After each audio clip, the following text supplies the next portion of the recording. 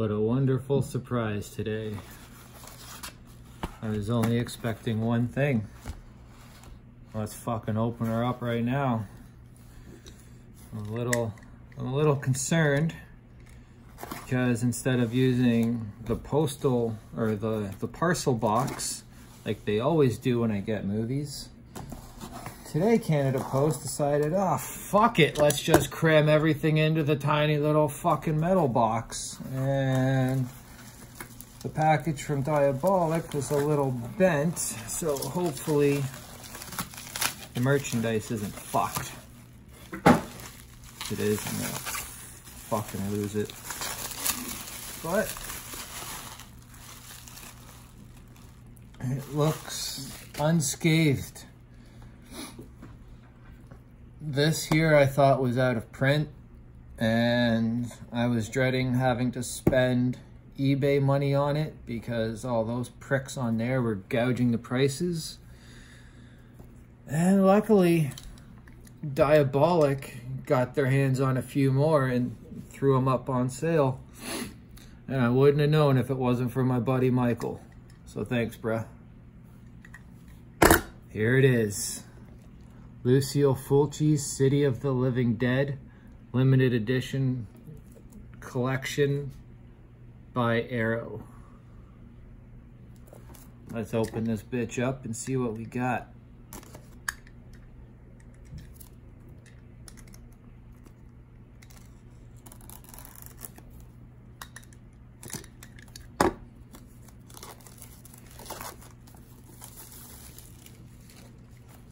Oh, I am so stoked to have this in my collection now.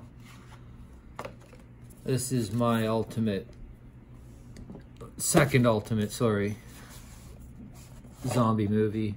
First being Lucio Fulci's Zombie. So first we have what appears to be a rather large poster. Double-sided. Sweet.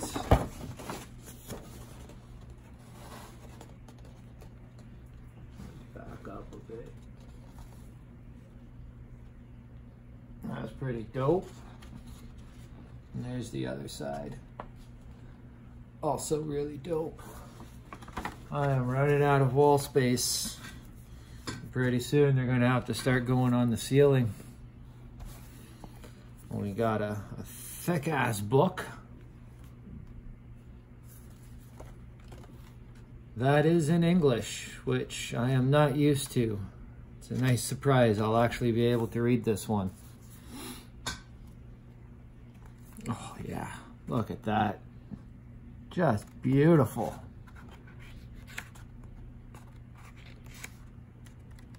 Oh, fuck yeah. I love it.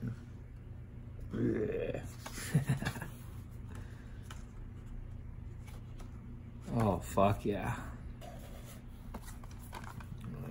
See? No stupid fucking security stickers. Just opens right up. Fucking vinegar syndrome needs to take a note from that. And here's the the cover. Holy fuck. Yo, this artwork's fucking dope. I want that on a goddamn poster. Jesus. Oh, that is just fucking amazing.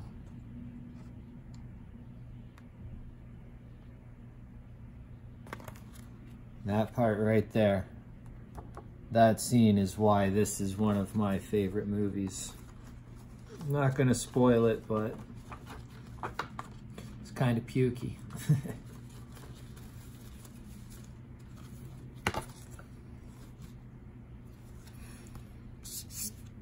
now we've got some lobby cards or postcards, whatever you want to call them.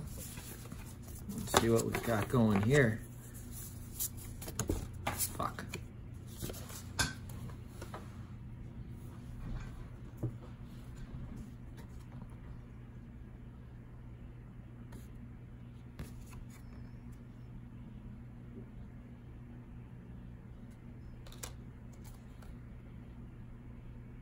That's just advertising.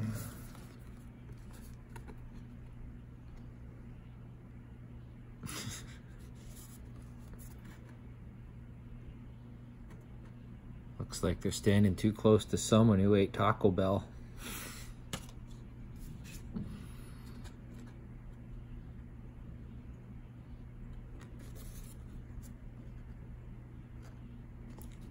Fuck. These are so awesome.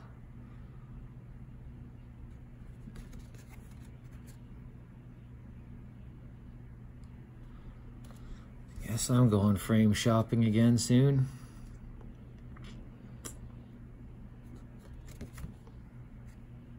You never have too much stuff.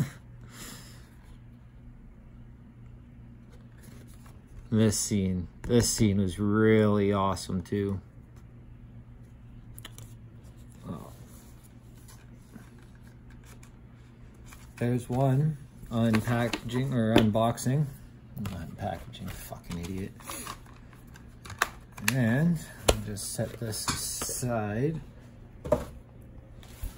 So this uh, second package, I have no idea what it is, but I am super stoked. This is from Korey Jordan, Korey D. Jordan, the man behind Chicken's Blood, the movie I reviewed a couple weeks ago. And I guess you really dug it, Korey, because you sent me something. This is fucking awesome. This, this made my fucking day.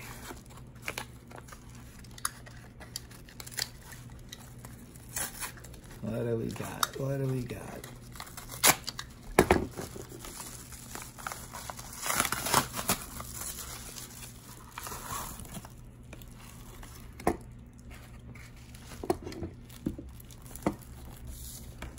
Oh, oh hello.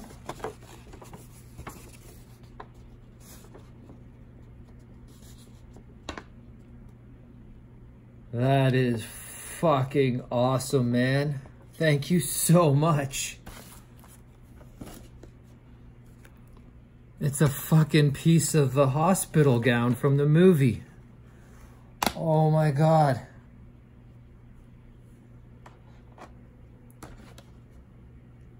that. That's fucking dope. Oh my god. Thanks, Korey. I was not expecting this. This this is fucking awesome, man. I never thought that I'd be getting cool cool shit in the mail this early into starting my little reviews. That's dope. There's one, there's another reason why supporting the indies matters. You can give positive reviews to all these Hollywood movies. They're not going to give two shits about you. They don't give a fuck. They're just going to be like, cool, they're going to spend more money on me next time I release something. But the independents, the ones that give a shit about the art that they're making, when you support them, they support you and they they thank you and appreciate all of your input into horror. And they actually take the time to talk to you.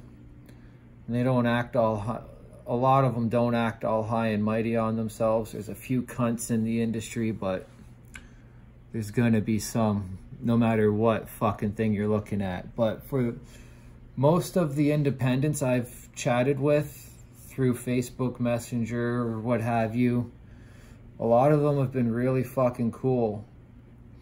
And that's why I love love this scene, man. That's why I don't have a problem spending money on on these cats during their Indiegogos and Kickstarters and all that. Just thanks again, Korey. Th this this means a lot. I fucking love it. So that pretty much wraps up the unboxing today. It's fucking 10 minutes so far. I'm sure you're you're all sick of listening to me ramble. I'm gonna I took a look at my watch list so far of the year. I'm 52 movies in and the review count doesn't match that. So I'm really gonna start working harder to do more reviews, spread the word out on lesser known movies.